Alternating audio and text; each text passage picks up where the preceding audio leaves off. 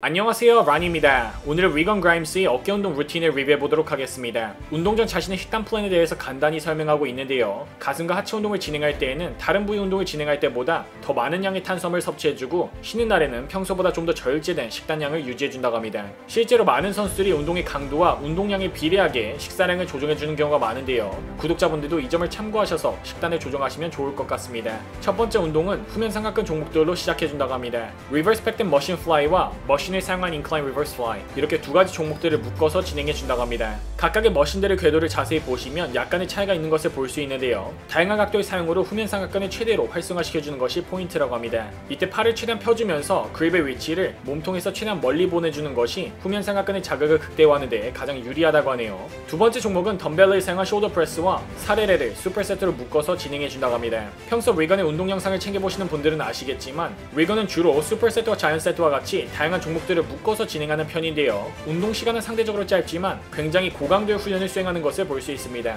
리건의 운동을 도와주는 코치의 말에 따르면 superset와 giant set를 최대한 활용하는 것이 시간 대비 운동의 강도를 극대화할 수 있을 뿐 아니라 펌핑감 역시 끝내주기 때문에 근육에 최대한의 혈류를 보내는 데에도 용이할 뿐 아니라 그로 인해 근육에 더욱 강한 자극과 동시에 혈류 속 다양한 영양분들을 근육에 전달해주는 것이 가능하고 이는 운동의 효율성 증가에 있어 매우 중요한 부분이라고 합니다.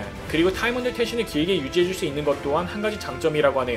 press를 진행할 때에는 elbow를 어깨의 부담 없이 가장 자연스럽게 움직일 수 있는 위치에 두고 진행해 주는데 이때 등을 강하게 수축해준 상태를 유지해 주는 것이 좋다고 합니다. 마지막 세트는 실패 지점에 도달할 때마다 연속적인 drop set를 사용해 준다고 합니다. 계속 중량을 낮춰가며 볼륨을 최대한으로 끌어올려주는 것을 볼 수 있는데요. 이후 중량 없이 삼각근의 static hold를 활용하여 다양한 각도로 삼각근을 수축해 주면서 지속적인 time under tension을 유지해 준다고 합니다. 세 번째 종목은 머신을 사용한 숄더 프레스와 캠버바를 사용한 프런트 레이즈를 묶어서 진행해 준다고 합니다. machine press 동작 시에는 이완할 때 광배에 elbow를 걸쳐준다는 느낌으로 elbow의 위치를 충분히 앞으로 빼준 상태로 press를 진행해 준다고 하는데요. 실패 지점에 도달할 때마다 계속적으로 drop set를 진행해 준다고 합니다. front raise를 진행할 때에는 위로 들어준다는 느낌이 아니라 앞으로 밀어 올려준다는 느낌으로 진행해 준 뒤 바로 이어서 upright row를 진행해 준다고 합니다. 굉장히 짧지만 강력한 운동으로 이번 운동 루틴의 전체적인 방향을 보시고 자신에게 맞게 적용해 보시는 것을 추천드립니다. 대근육들과 함께 묶어서 어깨 운동을 진행하는 것도 좋지만 어깨가 약점이신 분들은 최소 일주일에 한 번은 어깨 운동만 집중적으로 진행해 보신다면 분명 삼각근의 발달에 굉장히 큰 도움을 받으실 수 있을 것이라 확신합니다. 혹시 위건 그라임스의 더 많은 운동 영상을 보고 싶은 분들은 유튜브에 위건 그라임스를 검색해 보시기 바랍니다.